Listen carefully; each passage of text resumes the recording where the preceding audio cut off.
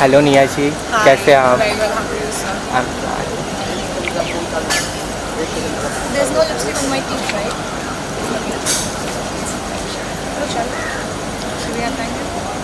अभी अभी। या नहीं फ़ोटो ना भेज दो यहाँ पर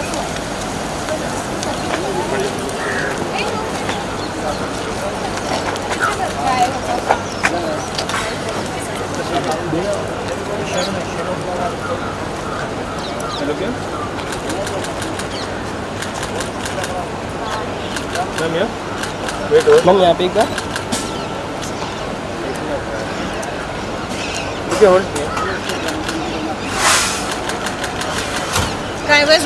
मैम मैम। आ रहे आ रहे हैं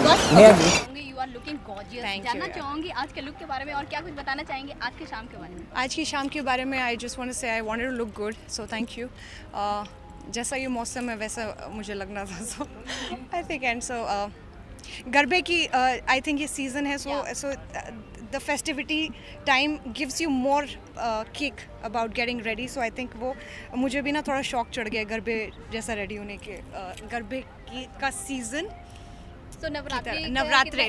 Navratri look the garba look all these तो I like all these oxidise jewellery and I like getting ready and I like the makeup and hair and everything आपका जो सॉन्ग आ रहा है अपकमिंग उसके बारे में जानना चाहूँगी क्या कुछ बताना चाहेंगे it's not my song Rahul Rahul has sung this song actually गरबे की रात है सो बट इज़ ही संग इट वेरी ब्यूटिफुली और जो शूट भी हुआ है that also is has been tremendous and I love shooting for the song okay और नवरात्रि के बारे में क्या कुछ बताना चाहेंगे? सबसे ज़्यादा क्या पसंद आता है?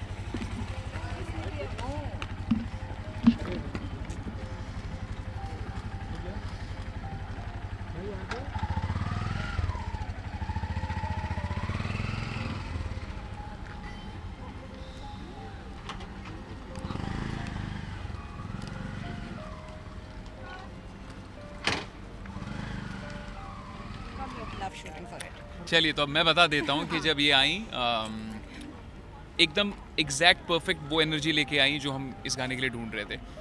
शी इज़ गॉट अ इनमें बहुत ही कमाल की एक एनर्जी है और इनके इनको देख कर ना एक आप में ऊर्जा आती है। एंड uh, बहुत बढ़िया इन्होंने अपना परफॉर्मेंस दिया है। एंड जिस तरह की हम एक कास्टिंग चाहते हो एग्जैक्ट यही थी। एंड हम एक्चुअली पहले किसी और गाने के ऊपर काम करने वाले थे बट वो हुआ नहीं। और वो कहते हैं ना ज़िंदगी में जो चीज़ें लिखी होती हैं वही होती हैं। But I am very happy she hasn't seen the video I have seen the video. Also also मैं एक चीज़ कहना चाहता हूँ। निया कितनी भी अच्छी लगे ना पोस्टर में लड़कियों को प्रॉब्लम होता है कि यार ये नहीं होता वो नहीं होता। कितनी अच्छी लग रही है। आप लोग मानते हो? आप लोग मानते हो? हैं? आप लोग मानते हो? अच्छा लड़कियों को ये पता नहीं क्यों उनको नहीं अच्छा लगता कि यार अच्छा है। They can't believe that they are looking really really good so I want to tell you that you looked fab in the poster and I can't wait for you to see the video because video has turn out to be fantastic अभी उधर है vanity में। तो shoot करने में कितना time लगा और कैसा रहा उस टाइम का इन्वॉल्वमेंट शूट करने में क्या कुछ इंजॉयमेंट हुई ये जानना चाहूँगी। आ, एक साल। सॉन्ग बन बनने हुए हाँ हाँ शूट करने के लिए एक साल नहीं लगा। बट गाना हाँ पिछले नवरात्र के वक्त मैंने बनाया था। बट मैं सडनली बिग बॉस में चला गया एंड फिर वो गाना नहीं हुआ। बट इस साल हमने सोचा कि उसको पिक्चराइज करेंगे। And you won't believe I think 12 घंटे के अंदर हमने शूट किया। मतलब it was the first time that I really had a good time shooting और वो. बिल्कुल प्रिसाइज आवर्स में खत्म हो गया. यूजुअली म्यूज़िक वीडियोस दो दो दिन लगते हैं. मुझे समझ में नहीं आता क्यों लगते हैं और एक दिन में भी स्क्वीज करते हैं तो वो भी 15 16 घंटे कहाँ जाते हैं you never know. But they were right on time I think very well organised बढ़िया था hectic Did anybody talk about his look, the candy, uh, the orange or of mango? Yeah. Do you like- बचपन में वो orange candy नहीं आती थी बच्चे उसको. खाते रहते थे मैं वही उसकी याद आ रही है उसको देख के thank you But thank this you doesn't look like garba special.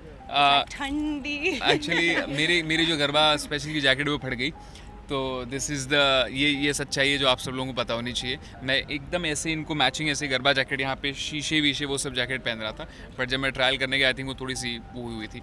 तो इसलिए this is the last moment outfit but I think it's looking great right It's looking very you like the. Orange Candy! Candy ये Yeah. So what is the USP point of uh, जानना please what is it please tell me please tell me you should say USP, the unique selling point of the Yeah. song is the is Rahul Vaidya. I think think she's is very sweet I mean, and let me tell you that I think this is the first time uh, हम मिले हम ऐसे acquaintances मिल- as acquaintances हम मिले but this first time we actually work together and बड़ा cool सा था. Obviously पहले दिन जब मिलते हैं तो थोड़ी सी वो एक टीदिंग इशूज़ होते हैं. आप पहली बार किसी को मिलते हैं.